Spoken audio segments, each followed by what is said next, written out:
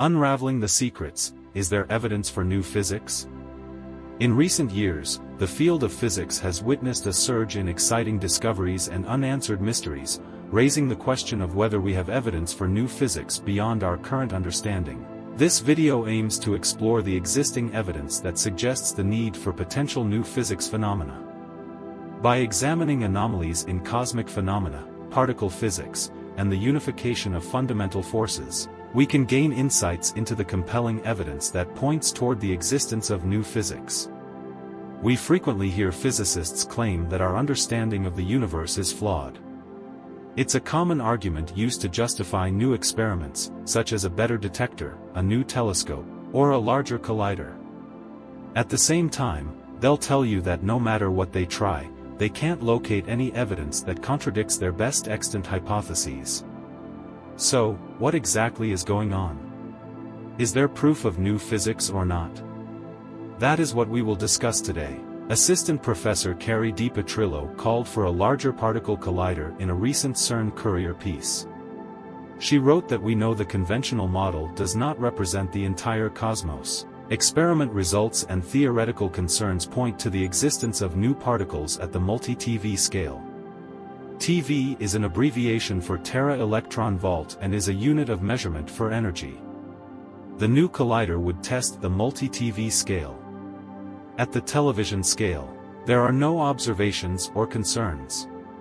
Another example, in a recent press release, Jefferson Labs' Jim Fast was cited as saying, we know there are some things wrong with the standard model. He said this to explain why we need a new experiment to detect the electron's weak charge. It begs the question of how he knows that. Is it the absence of observations or concerns? This has been going on for a long time.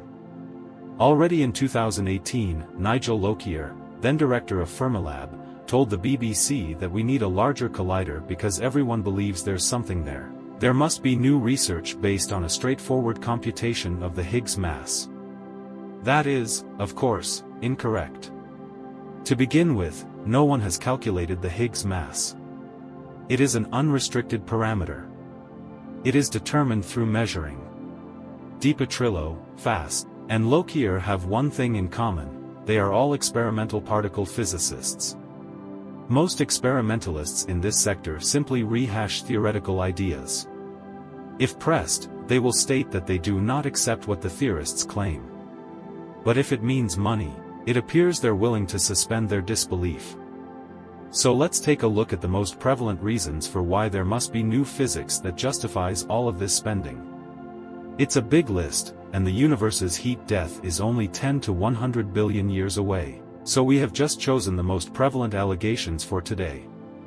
That is the mass of the Higgs boson, quantum gravity, dark matter and dark energy, neutrino masses, and the universe's absence of antimatter. We'll go over them one by one, beginning with the mass of the Higgs boson. We presently employ two distinct theories in the foundations of physics. The first is Einstein's general theory of relativity. Yes, it's the same guy. Einstein taught us that gravity is actually caused by the curvature of spacetime. The other theory we utilize in the foundations is a quantum field theory dubbed the Standard Model of Particle Physics. It collects all known elementary particles as well as the three forces that hold them together, electromagnetic force, strong nuclear force, and weak nuclear force. In the Standard Model, one of those particles is the Higgs boson, and its mass is the third parameter. This means that you measure it and then use it to make additional predictions. Why do particle physicists keep harping on about it when there's nothing wrong with it? We believe it is a mistake comparable to the one that once led physicists to assume that black holes did not exist. They're mixing up mathematics with physics. Karl Schwarzschild was the first to describe black holes. In his equations, a singularity exists at the horizon of a black hole. The presence of a singularity does not imply that the mathematics is incomprehensible. It signifies that some mathematical operation returns the value infinity. This seems to imply that black holes are a mathematical possibility that does not exist in reality. However, It was discovered that the singularity at the horizon is an artifact of the mathematical description given by Schwarzschild and has no physical analog. So there is no physical problem at the black hole horizon. This becomes clear when you compute what you can truly measure. Consider what you'd feel if you passed a black hole horizon. There is no answer. The horizon does not exist in physical form.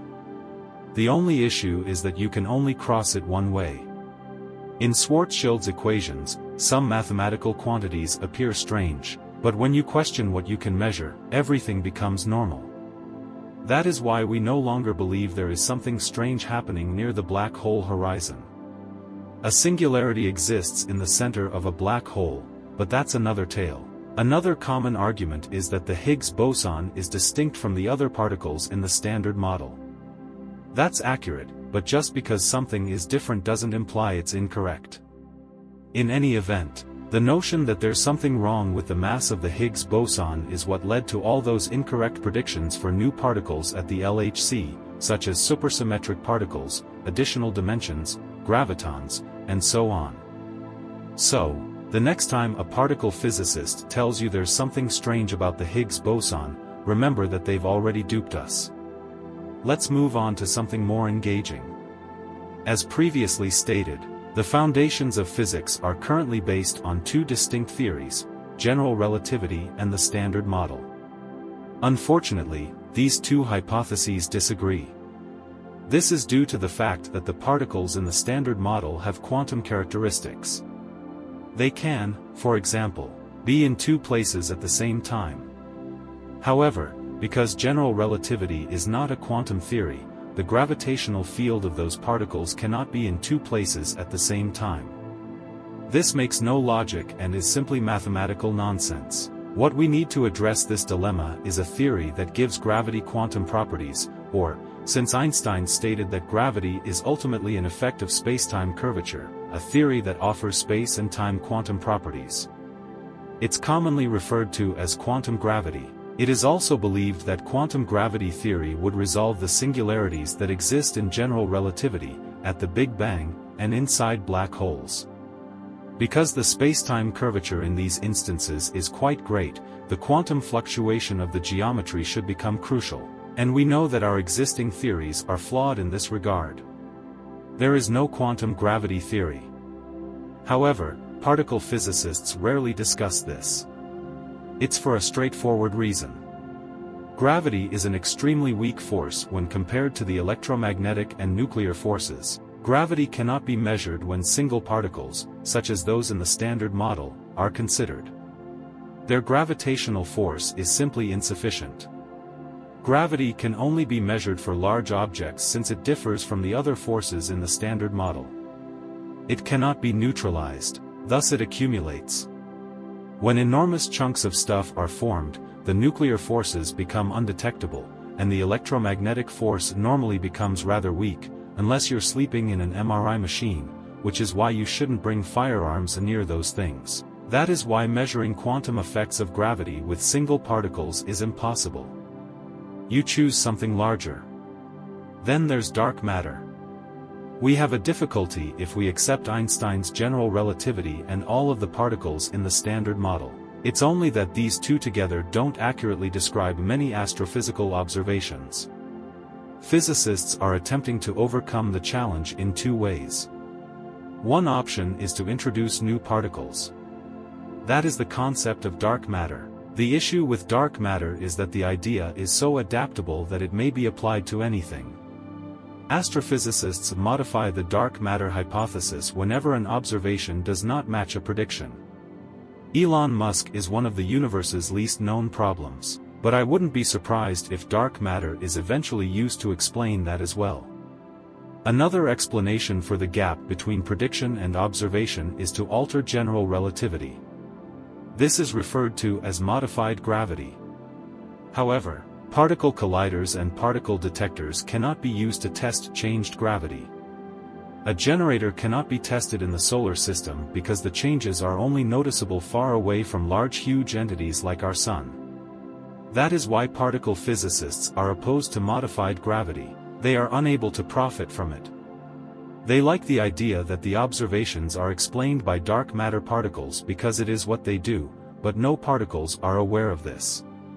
Specifically, such particles that can be created or measured in one of the next particle collider's detectors. The problem is that, even if dark matter is formed of particles, which it may not be, there is no reason why it should be a sort of particle that can be created or measured with the next greater particle collider or experiment.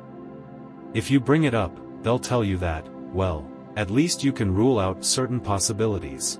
At the very least, this allows us to rule out some possibilities. So the observations commonly attributed to dark matter are a real issue that must be addressed in some way. However, modifying the conventional model is not always necessary, especially at the energy that the next larger collider may test. What is the deal with dark energy? The discoveries attributed to dark energy are readily explained by a cosmological constant, which is just a constant of nature and story. A natural constant is the best explanation there is. Some theorists claim that the constant is not a constant, but rather a quantum field composed of particles, which can be detected using a particle collider. But that's an overly contrived hypothesis, and there are infinitely many of them, so testing them is an unpromising technique. Let us now discuss neutrinos, which are possibly the most perplexing new physics argument. The Standard Model includes neutrinos as one of its components. They come in threes. Neutrinos are electrically neutral, as the name implies. They interact relatively rarely and are difficult to measure since they have no electric charge. We've known for about 20 years that neutrinos have masses, and a Nobel Prize has been awarded for it. As a result, looking up the standard model on Wikipedia will tell you that, of course, neutrinos have masses. However, many theoretical physicists believe that neutrino masses constitute physics beyond the standard model. But here's the reasoning. We know neutrinos have masses, but we don't know how they got them. The problem is that other particles, like as the electron, have left-handed and right-handed variants. The electron's mass is determined by an interaction between its left-handed and right-handed versions and the Higgs boson. We can't do it with neutrinos because we've only ever observed the left-handed variety. There are three methods for assigning masses to neutrinos. The first possibility is to simply assume that right-handed neutrinos exist. We haven't seen them yet since they're too hefty. The second possibility is that neutrinos differ from electrons in that the right-handed and left-handed versions are identical. This is known as a Majorana particle. You can then couple two of the neutrinos we already know exist to the Higgs, and they gain masses. If neutrinos were Majorana particles, they may undergo a sort of radioactive decay known as neutrino-less double beta decay. This is what the cation experiment is looking for. It hasn't seen anything yet, but it has just recently begun gathering data. The combination of the preceding two is perhaps the most popular alternative, in which case the right-handed neutrinos are too heavy to be created at the next larger particle collider. The third alternative is to make a mass out of the left-handed neutrinos and the Higgs without producing the Majorana by connecting it to a pair of Higgs. This does not require any additional physics, but it does cause a mathematical challenge in the standard model. At high energy, it would then degrade. This could imply that new particles are forming at those high energies. However, the energies required for this are once again much above the capabilities of the next larger collider. This suggests that the problem with neutrino masses is identical to the problem with quantum gravity. We know there has to be a solution, some new physics, but it becomes necessary at energy so high that they are orders of magnitude away from even the next larger collider. However, there are other trials that could throw light on the situation in both circumstances. Another reason we frequently see particle physicists' names used to argue for new physics is the supposed conundrum of the universe having more matter than antimatter.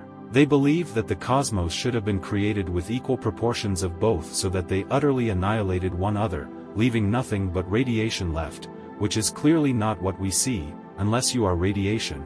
There's no reason why the universe couldn't have begun with equal parts matter and antimatter. Non-experts may find this argument persuasive since they have heard that we know something about the symmetry between matter and antimatter from Dirac's work. That is correct, but all Dirac showed us was that antiparticles exist. His revelation makes no mention of how many of those particles exist in the universe. So, when it comes to the matter-antimatter asymmetry, nothing needs to be explained in the first place. Particle physicists have also claimed that discovering violations of specific types of symmetry such as CP symmetry will aid in explaining this. It won't, no matter what they measure about CP symmetry, because our existing theories require beginning values for the quantity of different types of matter in the early universe. To summarize, the mass of the Higgs boson, dark energy, and the matter-antimatter imbalance do not require any further explanation, let alone new physics. However, we do know that new physics must exist. Two compelling theoretical considerations are that we lack a theory of quantum gravity and that we do not understand the genesis of neutrino masses. We also have compelling experimental evidence to support our belief in new physics. These are the observations that are commonly attributed to dark matter. Even if dark matter isn't the best explanation, we still need one. However, we have no reason to believe that any of these new physics will be detected in any of the detectors presently under construction or at an exascale collider. If a physicist says otherwise, it's because they're making things up and assume you don't know any better. No doubt, new physics is exciting, but as the saying goes, you must first master the laws before you can break them. In conclusion, the accumulation of evidence from multiple branches of physics strongly suggests the need for new physics beyond our current understanding. The anomalies observed in cosmological, particle physics, and astrophysical realms demand explanations that extend the boundaries of the Standard Model and general relativity. Although much work remains to be done, the pursuit of new physics promises to enrich our understanding of the universe and unravel its deepest mysteries.